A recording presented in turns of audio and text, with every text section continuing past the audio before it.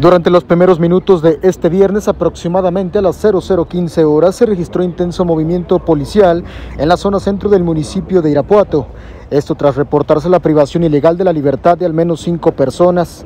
El hecho se registró en una vivienda ubicada en la calle Pípila, casi esquina con calzada Insurgentes, del barrio de Santanita en territorio fresero al sitio, se movilizaron unidades de la Policía Preventiva y de la Guardia Nacional, quienes realizaron las investigaciones correspondientes.